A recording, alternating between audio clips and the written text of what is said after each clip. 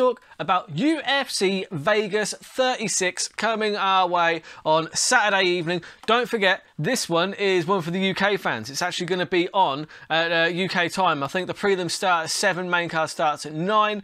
Um, so, if you're new to the show, welcome. If you're returning, Welcome back. Basically, this is the Burt Locker Fights in 15. I will have a look at the card, and there's a few uh, bits and pieces where I think there's an underdog that has a chance of coming in. And what I like to do is slam down some absolutely terrible bets. I do not recommend following the bets because I have yet one accumulator. One accumulator was only one out, though, to be fair. But in any event, it's just to add a little bit of flavour, a little bit of fun. I'll do a little bit of a breakdown for the fights. There, there may be some fights that are flying under the radar. It might give you a little bit of insight into who's fighting and what their background is. And uh, I'll try and wrap that up in about 15 minutes or less. Hence, it's called the Burt Locker Fights in 15. So, let's start off with the middleweight division. Now we've got Dalcha Lungiambula versus Marc-Andre Barriault. Now, I'm going to call uh, uh, Lungiambula Dalcha for the purposes of this breakdown because it is uh, far easier. Basically, this guy, he's, he's someone I've, I've, had my eye on for a, for a while, to be fair, because he was a long-time champ in South Africa, double champ actually, uh, light, light heavyweight and heavyweight. And he had a decent debut, uh, light heavyweight, against Dequan Townsend, and then he got derailed somewhat by uh, Magomed Ankalaev, but we all know who, now, we all know how good Ankalaev is. So there is no shame in that one, really. If you haven't seen that, it was a wicked front kick and then punches. So uh, if you've got Fight Pass, go back and give that a little watch. It is, it is, it is a pretty good one. Uh, then he made his debut at middleweight versus Markus Perez. It wasn't the best fight in the world, but Dalcha did get the decision. Now, considering that cardio has always been an issue for the big man, it was interesting that he managed to come out top of a three-round decision. Maybe it speaks to him managing his gas tank a little better because because man, the guy's a monster. I don't know how he even makes middleweight. The guy is just muscle on top of muscle. He is an absolute uh, specimen, really is.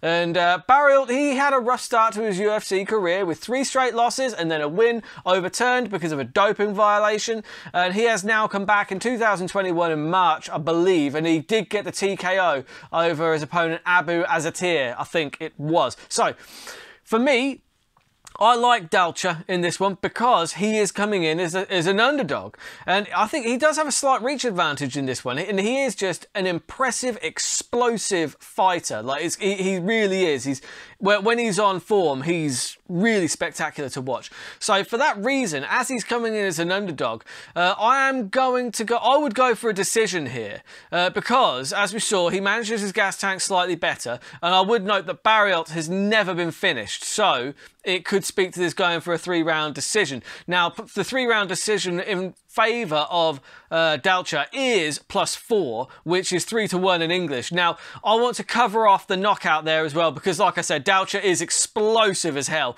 and he can, he can more than, he's more than capable of knocking anybody's head off. So I'm going to go with the double chance here because you're getting better than even money, which is so the knockout, TKO or decision, 2.50 or 1.1.5, 3 3 2, whatever you want to call it, is uh, a terrible bet. Anyway, so uh, that's what I'm going for. Uh, double chance, KO, TKO, decision in favour of Dalcha. Then we have got the debut, long awaited debut of one Mr. Paddy Pimblett. And he is going to be taking on Luigi Vendramini at £155. Now, I thought that there would be more on the UFC website about Paddy. For shame. This guy has been on the radar for quite some time. I know he's been been in Cage Warriors, which, which is a feeder promotion, really.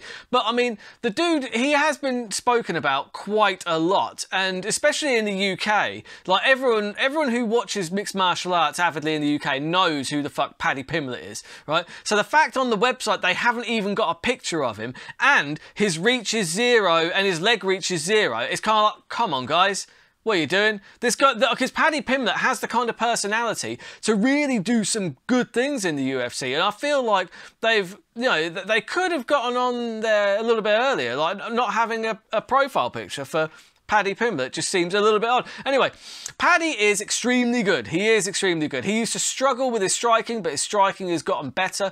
Uh, but, you know, his grappling used to more than make up for his striking. He, he, he does like to grapple. He's very, very good at it as well. He got to black belt. So, Paddy, he's not going to be standing up for the most part, I don't think, in this fight. Although he will have a slight reach advantage, even though they haven't got the, the, the, reach on there. But he is the taller man, and just judging from his frame, he's quite a long, lanky kind of fighter. He should, in theory, have the reach, I would have thought. Now, at the end of the day, uh, in the UFC, like Luigi, he's pretty handy. Like, not gonna lie, he's he hasn't been great in the UFC. He's lost two out of three, and his win was a pretty nice head kick, though. So Paddy's going to have to be careful of that. And Paddy, is, like I said, he's the taller man, but like I said, uh, looking at it, I, I think that the the edge in striking may well go to Vendramini which poses a problem because Vendramini is also a Brazilian Jiu-Jitsu black belt in his own right. So it's kind of a question: Will he? will Paddy have the grappling advantage? Uh, we don't actually know that for sure. So this is actually a pretty tough matchup that they've given Paddy for his debut, in my opinion. Now, I am pretty torn on this one, right? Because obviously my heart goes with Paddy. That's without question. Do you know I mean? I'm, I'm, very patriotic in that regard. He is an English fighter. He's someone that I've been watching in Cage Warriors for some time, and I just think he's a great character. I think I'm hoping that he does well because he could really bring some fire, some some personality to the UFC, and you know represent the country. I just think it'll be fun which is why I'm regretfully betting on his opponent. Because, now the only reason I'm doing this is because Paddy is the heavy favourite. But on paper, this one is closer than that, right? You're getting value on there just because everybody is betting on Paddy Pimblett because of the hype that's going along with him, right?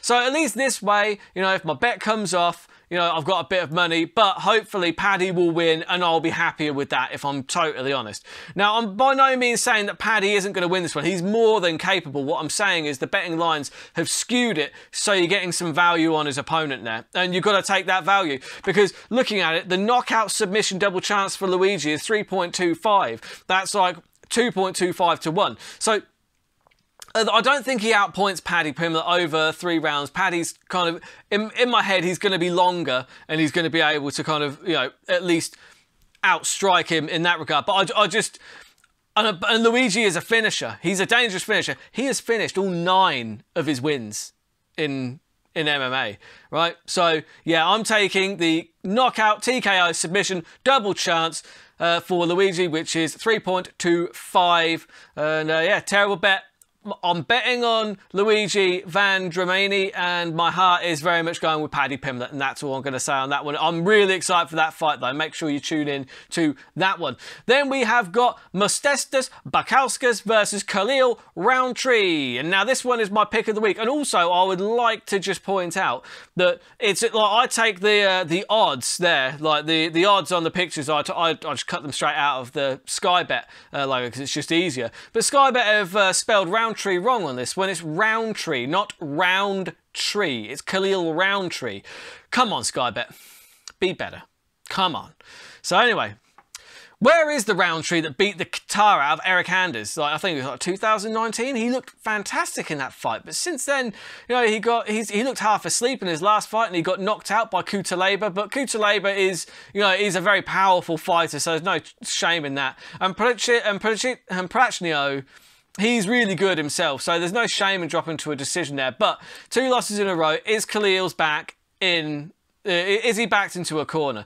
I mean, Bukauskas is in the same position. He's also coming off two losses. Now, Bukauskas is a very, very good kickboxer, but I feel like that could play into what Khalil Rountree likes to do. Khalil Rountree is also a very good kickboxer. We saw that against Eryk Anders, and obviously he knocked out Gokhan Saki as well. And I would say that overall, uh, you know, Khalil Rountree has fought the better competition out of the two fighters. I really think that. So Bukauskas is a heavy favourite here, but I think honestly, I think UFC experience is key in this one. Bukauskas has three fights in the UFC and one win, whereas Khalil Rountree has 10 fights in the UFC, only four wins, but that is three more wins against UFC level competition than Bukauskas has had. Now, I really like Bukauskas. He's very, very flashy, you know, very crisp kickboxer, but Khalil Rountree is capable of decimating people, especially with leg kicks, and he does have a reach advantage with the with the legs. His leg reach is longer than Bukauskas, so if he can get back to those leg kicks, I think he can take this one, and he is coming in as an underdog, 2.20, just better than evens for the win. Now, I'm taking that because it was only plus three on the on the knockout, which is not good enough value for me. So I'm taking Khalil Rountree for the win outright, and I think that is my pick of the week because you know I, I feel like on paper, uh, actually stylistically, this one could favour him. But you know what? Anything can happen, and I've been wrong plenty. So yeah, I'm looking forward to that though. It's good to see both of them back. Then we have got Tom Aspinall against Sergey Spivac. That's Spivac with a C, not a K. Come on, Sky Bet. Be better. In my notes, I spelt come on with a K just for just for effect because yeah, terrible, terrible. Come on, man. But yeah, uh, Big Tom is back now. Big Tom Aspinall is legit. He's one of the best heavyweight prospects uh, that the UK have had in the heavyweight division uh, since kind of Ian Freeman, I guess. I mean, it's uh, I call him Big Tom for a reason. He is six foot five and he is every bit a heavyweight. He is on a tear as well. Three UFC fights, three wins, three finishes. The last time out, he choked out Andrei Arlovski. So most people get a decision over Andrei Arlovski. He managed to finish him, which was fantastic. Now, Sergey Spivac is no slouch himself. Uh, you know, he's been in the UFC for a while now. Six fights, four wins, two losses. He is very good. Arguably as good as anybody that Aspinall has faced up to this point. Now, usually this is where I bet against Aspinall because he's such a heavy favourite and I'm a huge fan of his. So I kind of, I, I do sometimes make a habit of betting against the people that I like because that way, if they win, I'm happy. And if they lose, I've got a bit of money to kind of ease my pain, you know? But I don't see this going any other way than a finish for Aspinall. Aspinall is a Brazilian Jiu-Jitsu black belt and he can grab submissions. The plus six on the submission is very tempting, but I want to be on the safe side here for my accumulator because I don't want to go for that submission and have it be a knockout and that's the only thing that kind of puts my, my accumulator away. So I'm going for the double chance, knockout TKO slash submission, 1.62. Terrible odds, really terrible odds, but it's pretty likely to happen. So I'm more than happy to bang that on my bet slip. And then we've got the main event, the main event of the evening, Darren Till versus Derek Brunson. It's been a while since we've seen Darren Till. It's always fun to see him in the octagon, but I'm just going to say it. As much as it pains me, I do not like this matchup for Till. I really don't. At the end of the day, look, he was killing himself going down to welterweight, but on, let's not sugarcoat this. Who has Till looked really good against, really dominant against in the UFC. What, Cowboy Cerrone? Outside of that and his debut against Wendell de Oliveira, I know what you, I know who the fuck is that? Yeah, I don't know either, right? But since then, it's been a very close decision with Thompson, a, a, loss to Woodley, loss to Masvidal, split decision at middleweight versus Gastelum. Uh, really close, but he did get the win, so fair play, but it was razor close. And then a unanimous decision loss to, to Rob Whittaker. Now, look, that he's got to start getting some wins. Come on, man. Now, strength of schedule does have to be considered here. It does, because since the move to middleweight, he's fought Kelvin Gastelum and Robert Whittaker, both of which I rate above Brunson. Here's the rub though. Look, while Till was able to knock out people at welterweight, it was because he was huge at welterweight. At middleweight, he's not he hasn't got that size advantage. He just doesn't have it. And we haven't seen that knockout power at middleweight as well. It, it, the power just doesn't seem to have transferred. Until I, until I start seeing that, I can't say that it's still there. I'll tell you who does have power, though, at middleweight. Derek Brunson. Derek Brunson has one shot knockout power at middleweight. We've seen it. Brunson's taller, he's thicker, he has a reach, and he's got the power. I would say that Darren Till is likely quicker. Maybe he's the better technical striker. His footwork might be a little bit better. He might be able to be a little bit more elusive, but he's going to have to be elusive because he's going to have to avoid those shots from Brunson like his life depends on it. Well, his career might, you know, because it start getting more losses and and all of a sudden yeah, but he's the thing is Till's very marketable, so I don't think his job's anywhere near on the line. But he needs to start getting wins if he wants to start challenging for the title. And look, I hope I am wrong here because I'm a huge Darren Till fan, massive Darren Till fan, but I cannot bet on him as a favourite in this fight because honestly, I'm not convinced that he should be. The Brunson knockout, you know, it's just. I, I like it. At the end of the day, uh, what the way I could see this going, uh, Darren Till has got to make sure he doesn't get backed up against the fence. If he gets backed up against the fence, I think he's going to get knocked out. The problem is the fact that Brunson can wrestle and he can at least threaten with the wrestling. I can kind of see the fight going that going that way. It's in the smaller octagon as well, so you know I mean? there's going to be less room for Darren Till to move around. That favours the power puncher in Derek Brunson, so that's what I'm going for. Derek Brunson by knockout is plus four. That's three to one in English, and you know what? I, am putting that on my bet slip, hoping that I'm wrong. I really do hope that I'm wrong. I hope that we see Darren Till return to kind of the form that we kind of know that he is a talented guy and that he can.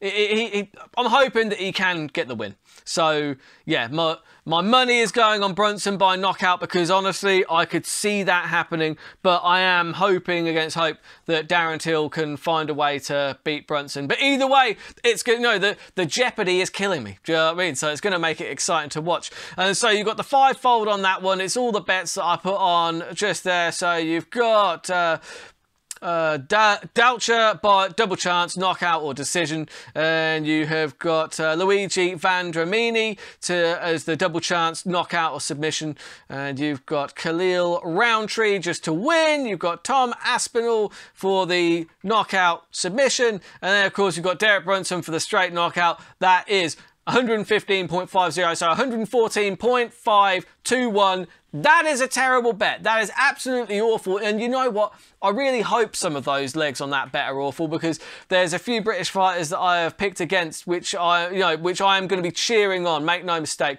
But it's going to be a really fun night. Remember, UK fans, that it's going to be on at a normal time, so seven o'clock prelims, nine o'clock main card, I believe. But either way, check your local listings. But it is going to be on in the evening at a reasonable time. I'll be doing a wrap up of all these bets either Tuesday or Wednesday of next week. So until then, keep those odds long and those bets terrible.